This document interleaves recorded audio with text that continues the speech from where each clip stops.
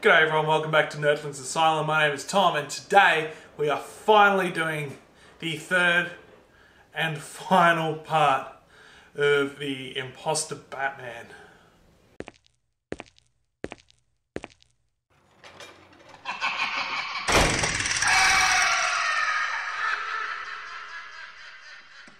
So if you've been watching this channel for a little while, when we first started two years ago, I decided to do a custom Batman figure from Jakks Pacific uh, right around the time that Ben Affleck's Batman was getting all of the merchandise. Now I got the Batman figure.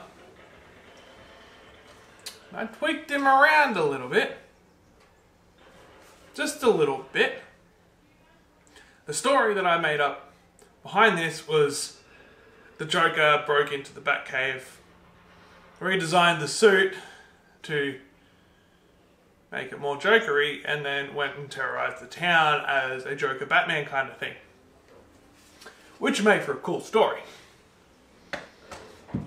Then, after doing that, I got a light from Kmart and a base from Bunnings, slapped the two together, got some glue dry at the moment so I can't actually show you, but that became a thing. Now I need to finish it all off. So it's only been two years of this stuff sitting around in the garage, but now we are finally going to finish off this gigantic diorama. Like this thing is huge. I'm not gonna lie. Probably a little bit too big, but I'm gonna do it anyway. So, let's finally get around to finishing off the Joker Batman diorama. So to kick everything all off, we're just going to spray paint some back onto the some black onto the base, and then go over the top of that with this granite effect, which looks amazing. It's got like little bits and pieces in the paint, which could probably clog it up very easily. But the effect is absolutely amazing.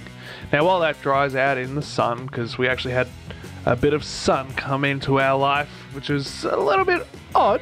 Um, it was onto the background. Now this is just different shades of grey from like near black and then just adding in bits of white and moving further down. Now there's so many different techniques and stuff that went into this uh, to try and get sort of a cloudy effect, stormy, cloudy sort of. I don't know what I was going for, but I just wanted to add something to it. Now I didn't go all the way down to the bottom because gonna do a silhouette of a skyline that Bon is drawing on now. Uh, I could have done it, but it would have looked really bad.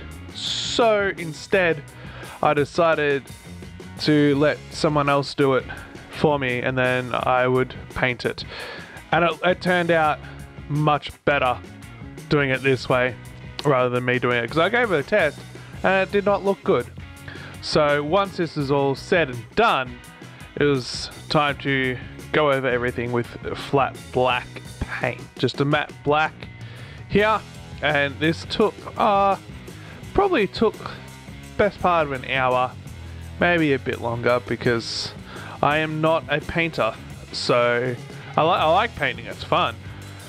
But it's not my forte. So it took a little bit longer than it'd probably take most people because I was going very slow around the edges and everything to try and get somewhat straight lines. Now, looking very closely at it, not every line is super straight, but it, it's good. I'm, I'm happy with it. The only problem I had was quite often I would paint further along, as you can see down the bottom there, and then I would rest my hand in wet paint because I am a smart, intelligent individual. So, pro tip for me don't do that again next time. Yeah.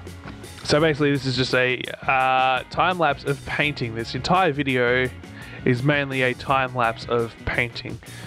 So, I hope you enjoy watching paint dry.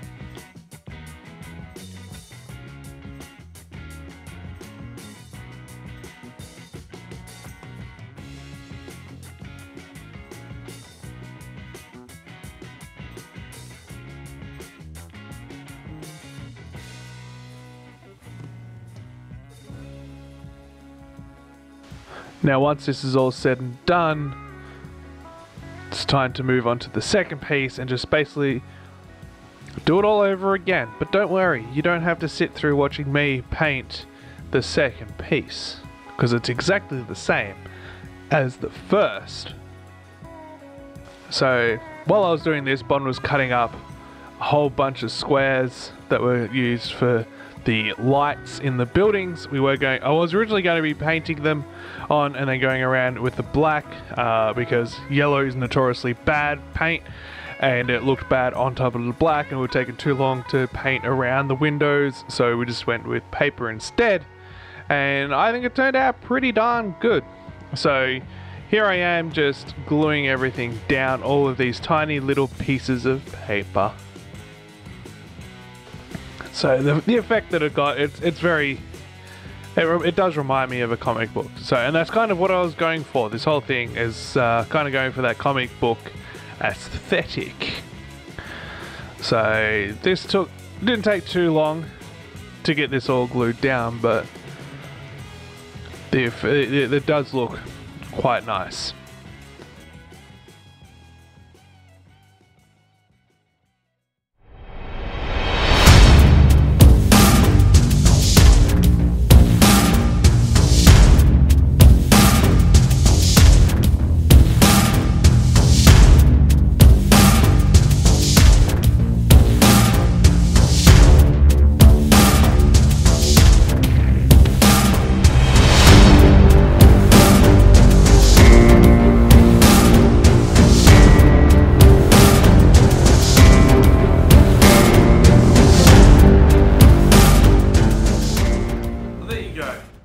Only took two years.